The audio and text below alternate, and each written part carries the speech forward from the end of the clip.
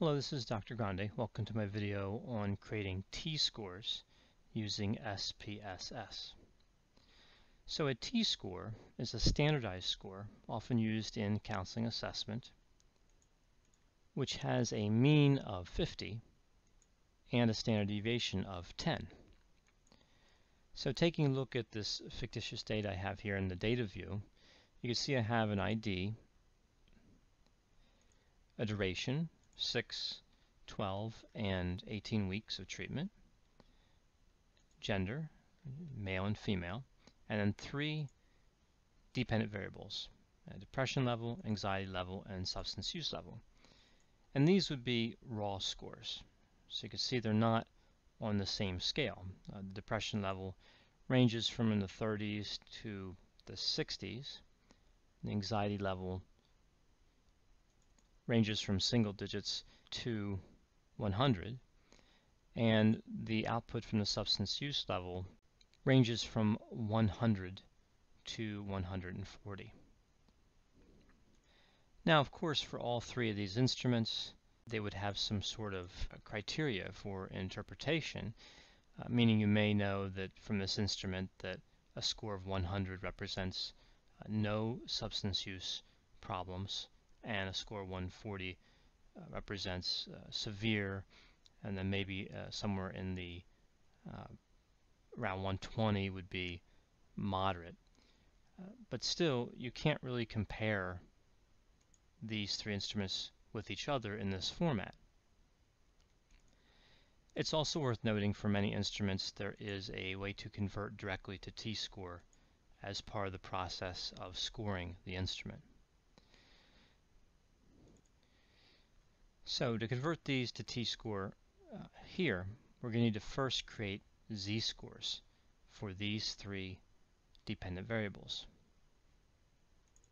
And to do that, we'll go to Analyze, Descriptive Statistics, Descriptives, and I'll reset this back to default. So what you want to do is you want to move over uh, depression, anxiety, and substance use into this list box labeled uh, variables. And you want to save standardized values as variables. So you're going to create three new variables. These are going to be z-scores. The z-scores have a mean of 0 and a standard deviation of 1. So you can see now I have uh, Z depression level, Z anxiety level, and Z substance use level. So I've transformed these data into standardized scores, z-scores, but I have not yet transformed them into t-scores. Again, z-scores have a mean of 0 and a standard deviation of 1, and t-scores have a mean of 50 and a standard deviation of 10. So to create the t-scores, we're going to go to transform and compute variable.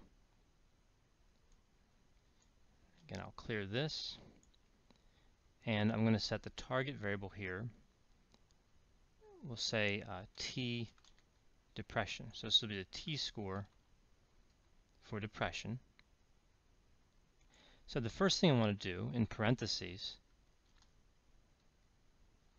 is multiply the z value by 10. Since we know the standard deviation for the z-score is 1 and the standard deviation for the t-score is 10.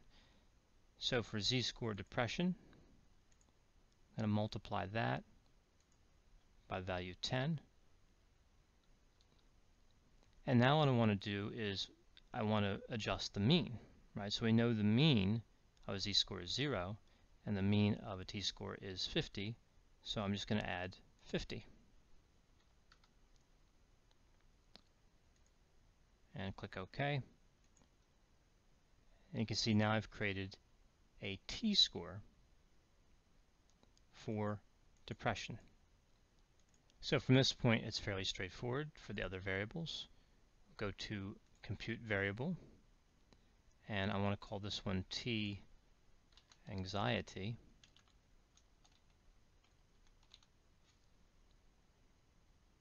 I'm going to delete the Z depression level and add in the Z anxiety level.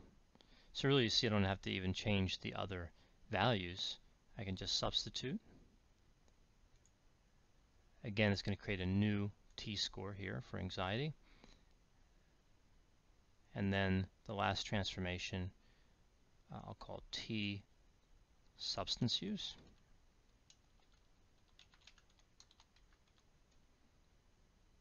Again, delete the prior value and take the z-score for substance use and put that in. Again, it's multiplied by 10, and then I add 50. And then I have all three variables now converted into t-scores. And t-scores are actually quite useful, and of course z-scores are as well. They're both standardized scores. Uh, but t-scores are very easy to interpret. Uh, you could see uh, those scores that are near the mean uh, pretty quickly. Uh, this score here, for instance, is close to the mean. This score down here is pretty close to the mean, as is this one. And you can also identify the more extreme scores fairly easily. Uh, for example, 67 or 34 are a little more extreme. The 34, for example, is over one and a half standard deviations below the mean. So this allow, allows you to quickly look at the data and compare the different scores by case and quickly assess, for instance, what dimension, depression, anxiety, or substance use, uh, perhaps should be an emphasis of treatment uh, early on. Uh, for example, looking at this record, you can see depression more than a standard deviation above the mean, whereas anxiety is at the mean and substance use is below the mean. So in this instance, depending on you know the agency setting and what type of treatment you're using and what your goals are and what the client's goals are, you may want to emphasize the treatment for the depression more assertively uh, given these results. So having this ability to compare the different instruments is quite useful. I hope you found this video on calculating t-scores in SPSS to be useful. As always, if you have any questions or concerns, feel free to contact me, and I'll be happy to assist you.